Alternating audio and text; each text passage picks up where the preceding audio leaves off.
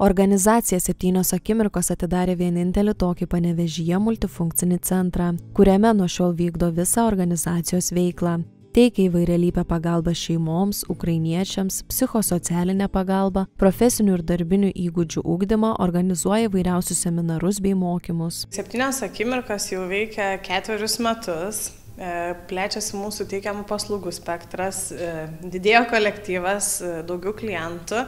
Tai su ta idėja, kad mūs, mums, mes nebetelpam į tose erdvėse, kuriuose prieš tai bazavomės, įsikėlėme į multifunkcinį centrą esantį vienybės aikštį 38. Mes teikiame kompleksinės socialinės paslaugas, tai pradedant nuo individualių konsultacijų, psichosocialinių paslaugų, socialinių įgūdžių ūkdymo, vykdome įvairius projektus, kurie padeda padeda, grįžti žmonėms į darbo rinką, taip pat padeda karo pabėgėliams integruotis, turim humanitarinės pagalbos kambarį. Įsikūrę naujose patalpose organizacija nusprendė čia pradėti ir naują veiklą - darbą su jaunimu, įkurta jaunimo erdvė. Tai jau trečioji vieta panevežyje skirta jaunimui, tačiau anot socialinio darbuotojo tokių erdvių jaunimui panevežyje reikėtų ir daugiau. Turime uh ir erdvę, ir cen, atvirą jaunimo centrą, tačiau jie yra pa, pakankamai panašioje lokacijoje, tai yra miesto centre.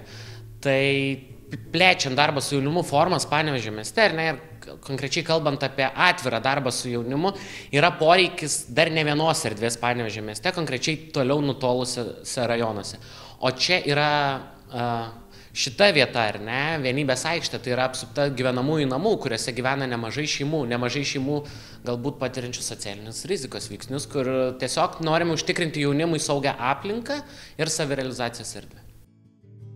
Pagalba šiaip įvairia, tiek jauniems žmonėms, tiek vyresniems. Su jaunimu tai mes tiek pagrindę dirbam per konsultacijas, per savipagalbos grupės, Jo, būna, kad, pavyzdžiui, jaunimas šiaip ateina pas mus pabūti, tai irgi tokio kaip ir bendravimo, palaikymo tokio suteikiam. Po truputį vis daugėja tų klientų, bet jo, yra, yra, yra poreikis ir yra, stengiamės jį atliepti kiek, kiek įmanoma efektyviau. Jeva Grigaitė sako, kad organizacijos veiklų spektras itin didelis, todėl šiame centre veiklos rasti gali įvairiausio amžiaus žmonės. Yra laukiamas tiek mažas, tiek senas, e, nes paslaugos yra ir veiklos nu, įvairaus amžiaus žmonėms. Organizacijos septynios akimirkos multifunkcinį centrą galima rasti vienybės aikštė 38.